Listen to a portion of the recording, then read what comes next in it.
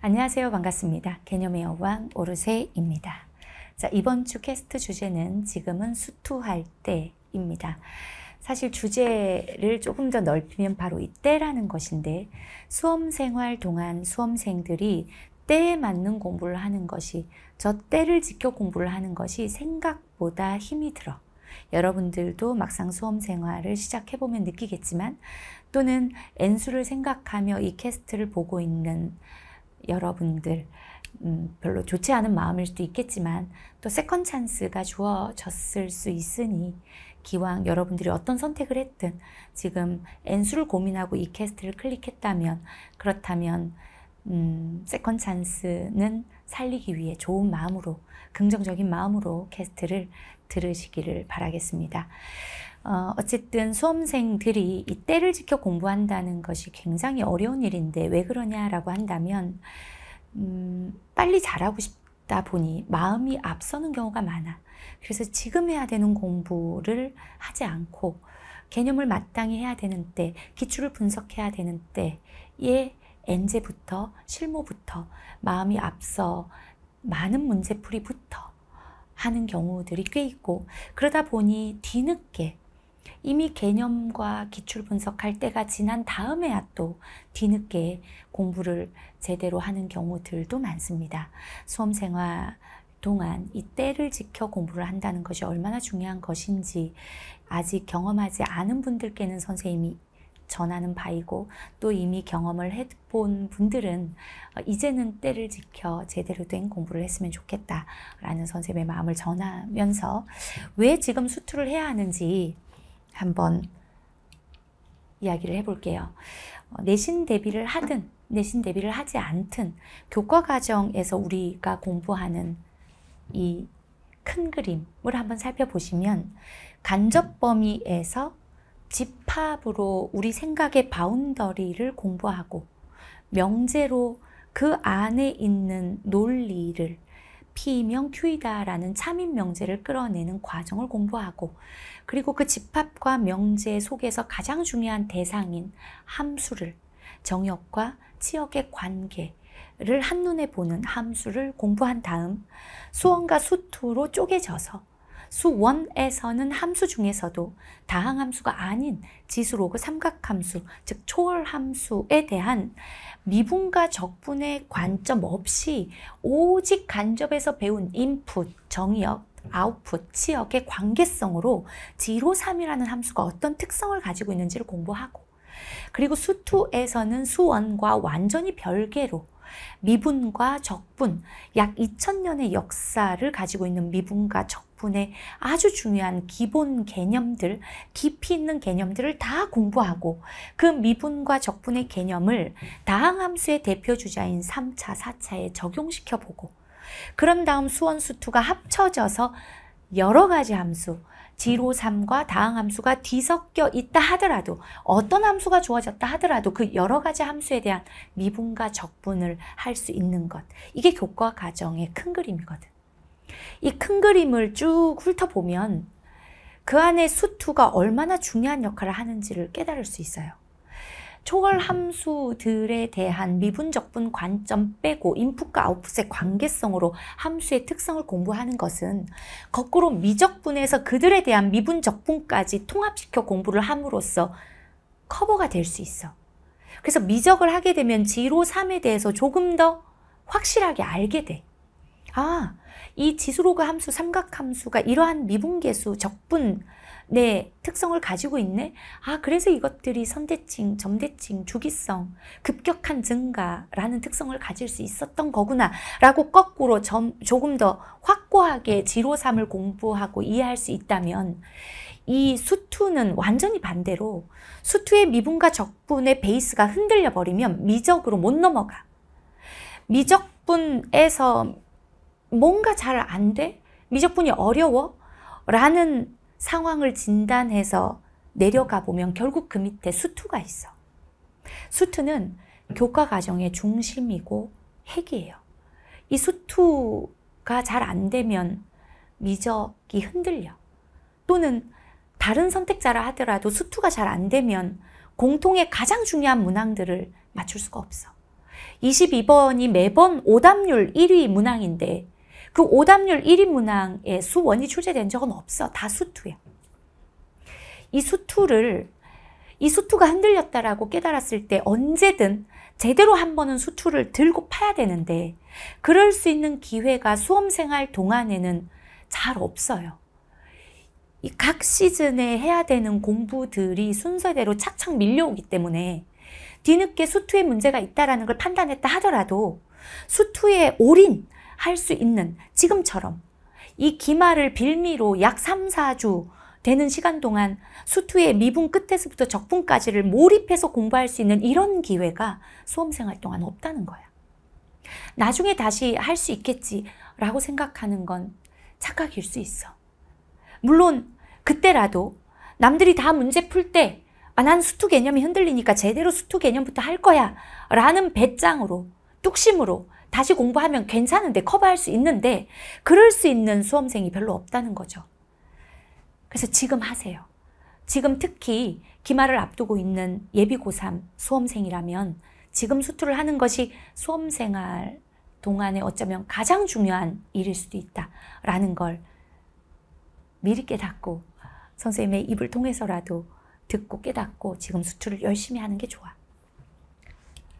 수투가 본질이다라는 건 팩트고 이건 교과 과정상 우리가 부정할 수 없는 사실이기 때문에 수투 공부를 어떻게 하면 잘 할 수 있을까 여러분들을 좀 도와줄 수 있는 방법으로 극한 연속 미분 적분을 다른 강좌로 쪼개놨는데 미분 적분에서 아마 대부분 이번 기말 범위가 적분일 거예요.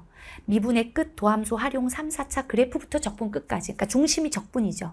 많은 부분 적분일 텐데 아시다시피 적분은 미분의 역연산이야. 적분이 잘 안 되면 미분 아니 미분이 잘 안 되면 적분이 될 수가 없죠. 더하기가 잘 안 되면 빼기가 안 되는 것과 비슷해. 적분이 어려워서 적분 단원을 두 배, 세 배 공부하지 말고 차라리 미분 적분을 세트로 공부해버리는 게 적분 공부량을 줄여도 적분 성적을 올리는 방법일 거야. 미분 적분을 통으로 개념 에센스로 공부해버리는 것을 추천해요. 단, 그럼 미분은 뭐가 잘 돼야 되냐라고 한다면 이 수원과는 다르게 수트는 교과 과정이 굉장히 유기적으로 단원의 연결성이 매우 매우 유기적으로 탁탁 붙어 있어. 리밋이라는 극한의 정의와 성질이 잘 납득이 안 되면 연속성으로 이어지지가 않고 연속에서 리밋을 제대로 자유롭게 갖고 놀지 못하면 미분계수가 리밋으로 만들어지기 때문에 미분계수가 받아들여지지가 않아. 그래서 극한 연속이 흔들려 버리면 또 미분이 잘 안 돼. 근데 극한 연속부터 개념 에센스로 다 하자니 너무 시간이 부족할 거기 때문에 지금부터 남은 기간 기말까지 약 3주라는 시간 동안 극한 연속은 10 days 개념 완성 으로 극한 연속 3단원 3개의 강의 정도면 끝낼 수 있어. 그래서 극한 연속은 10 days 개념 완성으로 빠르게 끝내되 단 그 안에 정확하게 개념을 짚어주니까 그건 정확히 이해하시고 그걸 베이스로 미분, 적분, 개념 에센스를 듣는 것이 가장 수험생활 시작 전 지금을 시즌 제로라고 한다면 지금 여러분들이 가장 할 수 있는 최고의 선택이 바로 이거다라는 생각을 합니다. 그래서 대략 계획을 잡아 드려 보면 지금 선생님이 오르새 학원에서 현장으로 예비 고3 학생들과 함께 내신 대비를 하고 있는데 그 친구들이 공부하는 그런 그 템포 를 생각하면서 여러분들에게 계획을 한번 잡아줘 보면 이 11월 25일에서 26일 한 이틀 정도 캐스트가 금요일 업로드가 될 테니까 이틀 정도 10 days 개념 완성 1, 2강 두 강이네요. 두 강. 두 강 들어버리고 그리고 일주 일주 대부분 이번 기말이 12월 12일 13일 전후더라고요. 그래서 본인의 내신 기간에 맞춰서 하루에 두 강씩 들으면 다 들을 수 있어. 근데 조금 더 땡길 수 있으면 세 강씩 들으면 더 좋아. 네, 선생님 개념, 개념 하나로 2점, 3점, 쉬운 4점까지 풀어내는 BQ, 그리고 조금 까다로운 중킬러 해서 final killer까지 한 방에 뚫을 수 있다라는 걸 공부하시면 내신에서 어떤 다양한 문제가 나온다 하더라도 그 문제가 결국은 내가 에센스에서 본 문제와 같은 문제네. 하나의 눈을 만들어서 다양한 문제들을 한꺼번에 해결할 수 있는 방법.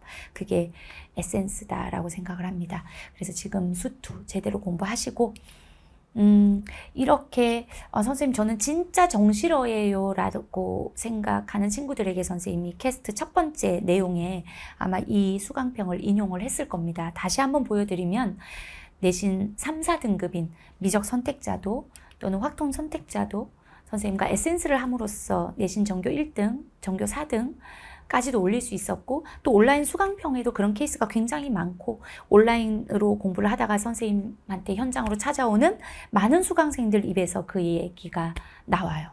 내신 포기하고 정시하려고 했는데 에센스 듣고 전교권으로 올라갔다 전교 1등을 했다. 라는 이야기가 참 많아. 한번 겪어보세요. 한번 여러분들이 공부하고 겪어보면 아마 느낄 수 있을 거야. 그래서 포기하지 마시라고. 내신 몇 등급이든. 아, 사실 내가 내신은 포기했는데 정실인데 선생님이 수도 공부하라고 하니까 하는 거야 라고 했을 때랑 그래도 포기하지 말고 끝까지 해볼까 라고 했을 때랑 강도가 다를 거기 때문에 후자를 선택하시라 라는 것. 그 인생이 어느 방향으로 풀릴지 아무도 모르거든요. 그래서 지금 어, 여러분들은 내신을 위해 수투한다 라고 스스로 속, 스스로를 속여서라도 열심히 수투 공부를 해서 수투 때문에 흔들리는 일은 없도록 만들어 놓길 바라겠습니다. 이 수투 개념 에센스에 가장 많은 어휘, 문장이 바로 이거거든요. 수강평에. 왜 이제 듣게 되었을까요? 라는 겁니다. 지금 이 얘기를 또 다시 한번 하는 건 예비 고3 친구들도 이 캐스트를 보겠지만, 어, N수를 생각하시는 분들도 선생님과 함께 1년 동안 캐스트로 쭉 이렇게 함께 했던 수험생들도 예비 수험생들도 보지 않을까라는 생각이 들어서 조금은 조심스럽게 자꾸 이야기를 하게 되는데 어, 아마 여러분들이 공부를 하면서 그런 생각을 많이 했을 겁니다. 왜 이제와 이제야 선생님 에센스 개념을 듣게 되었을까요? 왜 이제야 기출 백선 50선을 듣게 되었을까요? 라는 생각을 또는 그런 말들을 많이 했을 겁니다. 올해 만약에 다시 하신다면 그렇다면 너무 부정적으로 절망적으로 생각하지 마시고 아직 입시가 끝까지 남았으니 끝까지 노력을 하되 다시 하시게 된다면 이제는 때에 맞는 공부를 잘 하셔서 1년 동안 탄, 탄탄하게 그때 그때 맞는 공부를 함으로써 흔들리지 않는 수험생이 되시기를 바라겠습니다.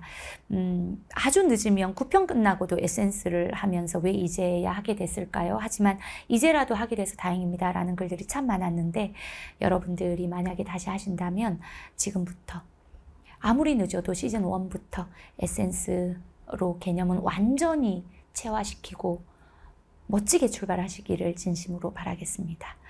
어, 첫 번째 캐스트가 아니죠. 세 번째 캐스트인데 선생님이 지금 카메라 너머에 새로 만나는 수험생들이 상당히 낯설고 사실 이전 수험생들도 만나고 대화를 한 건 아니었지만 참 신기하게도 이 캐스트를 보는 여러분들 를 느낄 수가 있거든요. 그래서 아마 이렇게 매주 또 새로운 수험생들을 만나다 보면 또 여러분들이 익숙해져서 작년과 같은 그런 그 뭐라고 하죠? 높아진 그 뭐라 그러죠? 단어도 생각이 안 나네요. 그런 어떤 쌤 뭐라 그러죠? 감독님 혹시 뭐가 텐션 자 텐션 작년과 같은 tension으로 캐스트 tension이 굉장히 높은 편인데 오늘은 조금 낯선 분들 앞에서 약간 설명해야 하는 느낌 네 그런 생각이 듭니다. 어쨌든 여러분들과도 익숙해지고 많이 가까워지고 내적 친밀감으로 서로 대화하듯이 캐스트를 촬영하는 날이 빨리 오기를 바라면서 응원하겠습니다. 네, 예비 고3 여러분들도 그리고 또 다시 한번 해볼까 하는 여러분들 모두를 같은 마음으로 응원하겠습니다. 감사합니다.